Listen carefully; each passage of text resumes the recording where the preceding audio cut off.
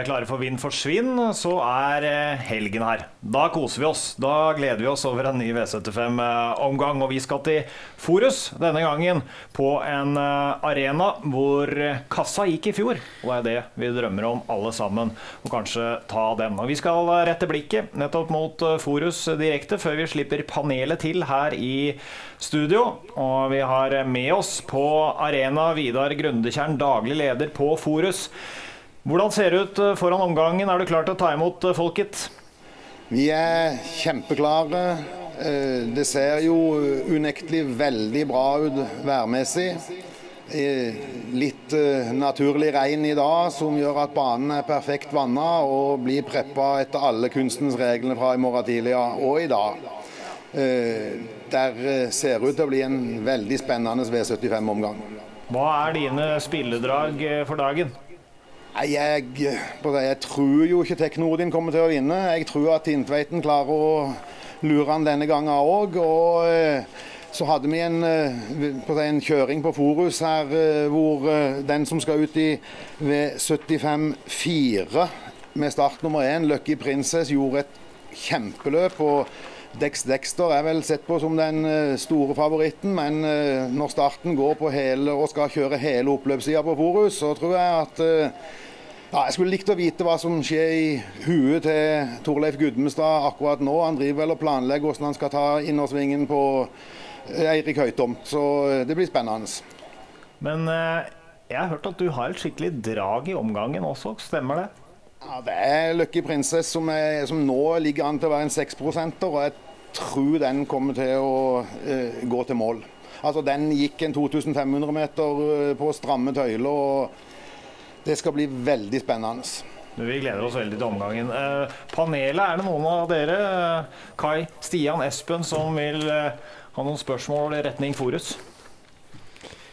Det må jo være dette med banen, da. At ja. de alltid stiller med en veldig fin uh, løpsbane. Og nå fikk vi vel svar på det av Vidar akkurat, at den er naturlig vannet til da. Så da vet vi at han blir bra. Ja. Det kommer til å bli eh, Det er ingen grunn til at noen skal kjøre sakte i morgen. Det er bare å gi bånn gass, for der er det i hvert fall ikke baneforholdene som ligger i å gjøre noe feil. eh, Vidar, takk for at du var med oss i, i Vind forsvinn, og så ønsker vi deg lykke til med arrangementet. Lykke til, og det er bare å komme til Forus. Det er fremdeles noen plasser igjen i restauranten. Så lykke til til både spillere og de aktive i morgen. Takk for det, Vidar. Eh, da er det panelet som skal slippe til, og vi skal fokusere på det spillemessige. Trykke rødt eller grønt, og vi begynner i V75-1 selvfølgelig, og da handler det om nevnte Teknodin. Skal vi trykke rødt eller grønt? Jeg trekker grønt uh, pga. at jeg tror han vinner, selvsagt. Han har ikke noe lett oppgave, men Samtidig så er det såpass få hester med at jeg tror han får tak i de relativt tidlig. Han har ikke gått noe bra på Drammen. Eh, Tjomsland klaget i ettertid på at han ikke fikk eh, feste nok eh, sist gang. Det må man bare kjøpe, og Teknodin leverer stort sett hver eneste gang. Så jeg, jeg tror han vinner. Jeg følger Stian på det og trykker grønt på Teknodin. De kjørte fort i front i, i, Drammen sist, og Teknodin har vel ikke gått best i Drammen. Tintveiten på samme distanse nå, så jeg tror Teknodin blir for god for alle i det løpet.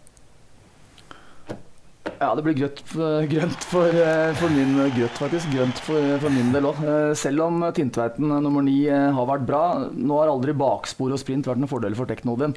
Så nå blir det ikke det. Nå, det er én mulighet da, som nummer ni Tintveiten kan ta på, at det blir et uh, ordentlig speedoppgjør. Men jeg tror Tjomsland har kontroll på det, og i det løpet i NM så var jo Teknodin mye bedre. Så det blir grønt på favoritten. Ok.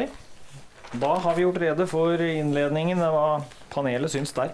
V75 2 eh, her er jo mer åpent hos spillerne. Please tell me what to do. Og det spør jeg dere om òg. Hva gjelder det spillemessige? Er det en vinner? Det er en hest som absolutt kan, kan vinne løpet, for den har vært god. Han bl.a. slått uh, Anasai, gjorde det i fjor. Uh, slo den fra, fra dødens da. Uh, men du har andre hester her som er bra. Du har nummer tre Broderman Nib som står fint til i sport 3. Nummer fem Com Commander kommer ut uh, og skal autodebutere. Den har vært bra, den òg. Litt hardt inne på penga, men jeg tror hesten står for det. Nummer åtte Master Rebellion høyt om topp står vanskelig til. Seks Sante. Den er blitt behandla og egentlig ganske bra, den òg. Så dette er et garderingsløp for, for min del. Får rødt fra meg, og jeg syns det er mange kandidater til å vinne det løpet her. Aleksandersen har gått uh, veldig bra. Åsbjørn Eksante Exante den har vært behandla. Galopperte som nummer to. De løpa før gangen før der så har han vært veldig bra. Sånn på Bjerke tredje sist, da syns jeg han var uh, veldig bra. Så han er sikkert forberedt og kommer ut og er en som kan være med å kjempe helt i toppen. Kom Commander må også med på, på bongen. Eh, please tell me du er en riktig favoritt. Heisholt har eh, hestene sine i veldig fin orden om dagen. Eh, men ute på lang reise, første gangen en hopper, også fra spor 11, så gjør det at jeg må prøve å gardere. Jeg er enig med gutta i nummer 6, Sante. Det er en ganske bra hest. Og har altfor lite spill på seg, slik jeg ser det. God kusk i Tenk seg deg tre Brodermann Nips. Skulle den komme seg foran, så kan det være en vrien nøtt å slå. Jeg skal gardere bredt og håpe på smellen i V75-2. Da er det den tredje avdelingen som gjelder. Geir Gudmestad han trener og kjører Rødmyrsfakså i dette hoppeløpet. Og hva sier panelet? Den får rødt av meg. Det er uh, åpent hoppeløp. Uh, men uh, jeg syns Valle Tiril er spennende. Den gikk 27 sist gang på 2040 meter. Rødmyrsfaksa har jo gått 26, men nå må jeg vel litt ut i spora og, kjøre litt. Så mitt drag i løpet er Valle Tiril. Mm. Rødt på favoritten i Rødemusvakso, som uh, ikke er min favoritt i løpet. Min favoritt er nummer seks Kapptidlig, som uh, galopperte som mulig vinner sist. Uh, nummer to Spikåsa står jo 20 meter bedre inne enn både nummer én Dana Vigdis og nummer tre Valletiril. Nå avslutta bra for for Håkon Barka sist. Nå er det runder Vig opp. Det er, et, det er et drag, og den er altfor lite spilt. nummer tolv Karmøy Junior holder også hysterisk form. vanskelig med 40 meter på den, men ja, den er litt for lite spilt, den òg, syns jeg. Ja, dette er et løp nesten uten sjanseløse hester. Det er litt vrient for å se nummer åtte Ida Vea vinne. Den har ikke vist noe voldsom form. De andre kan jeg vel i og for seg se. Og det kryr av hester som er for lite spilt. Fra det lengste tillegget 11 Barimia langt bedre enn Raden. Hun har eh, superform. Enig med Espen i seks kapp tidlig. Fire Solbergiela sto på seks. Ja, nå har hun 7,2% av innsatsene på seg. Også det en absolutt god nok. Hopp- og strekhestene står egentlig ok inne. Så veldig skummelt løp. Her kan det komme mye rart. Den er god. Da er det V75-4 som uh, gjelder et løp i bronsedivisjonen. To Dex Dexter har nær halvparten av penga på seg i nuet. Hva gjør dere? Uh, jeg garderer iallfall. To Dex er helt klart en vinnerkandidat. For det er en veldig god hest uh, i grunnlaget som har et fint spor og har fått et løp i kroppen. Men enig med Vidar Grundetjern, som var med til å begynne med her. En Lucky Princess har form. Hun er rask fra start, hun er for lite spilt. Tre Arn synes jeg var strålende på Klosterskogen eh, sist gang, på 2900-meteren. Og det er jo helt klart et voldsomt underspill på nummer tre Arn som er god nok. Én, to, tre, og så må vi ha med ni Alfred Nosto, som også den er klassen til å vinne. Jeg er ganske enig med, med Stian her. Med Lucky Princess var uh, steingod sist. Det var uh, småsykt, faktisk. For uh, den tok teten, og den lå langt foran og pulla ordentlig i front. Og på en 2-5 så går resten allikevel 13 siste 800 med den åpninga. Det var småvilt. To dekks tekster, avslutta bra etter å ha hatt en liten pause. Gikk fort nedover oppløpet på, på Biri.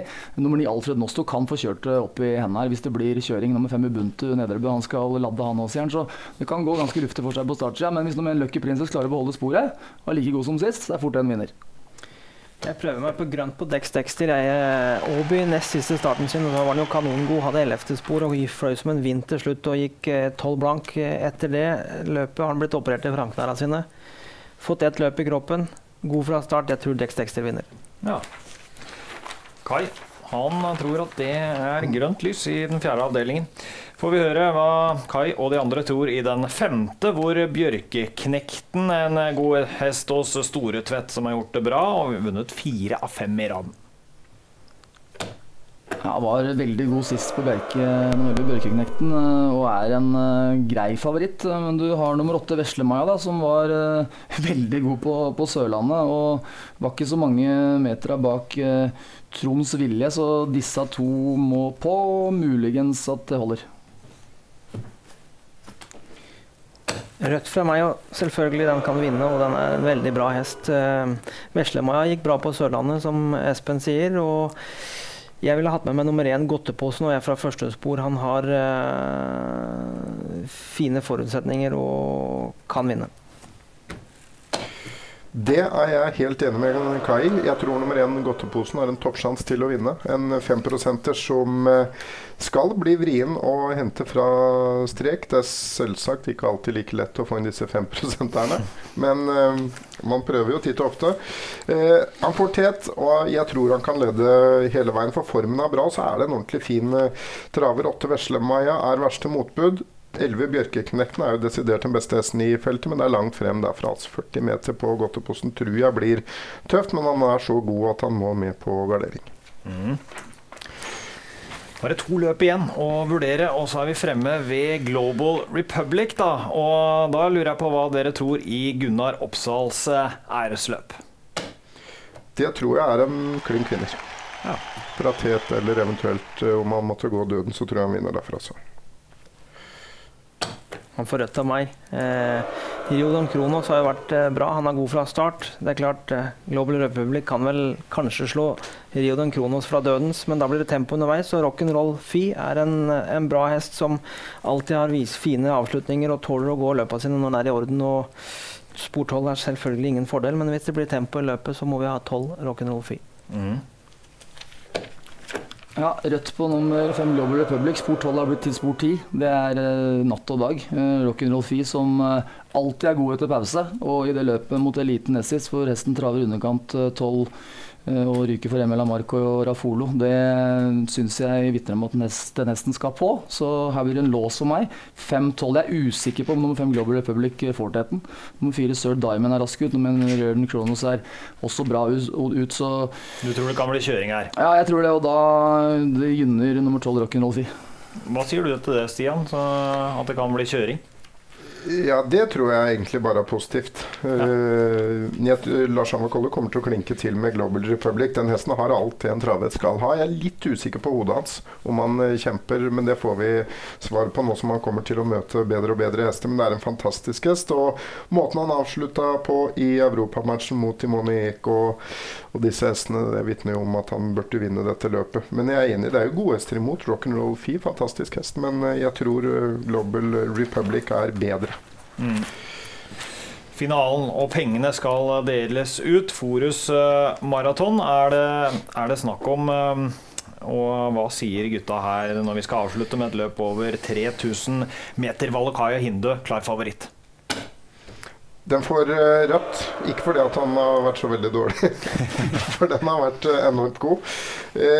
men det er interessante strekhester her. En slags Bay synes jeg er veldig Spillbar står fint til. Skulle hesten beholde teten, så går den en 15-tid 2900 eh, meter fra strek, og da blir det vanskelig for Valokaya Hinde. Du har eh, fra samme distanse nummer tre The Secret Light som en énprosenter.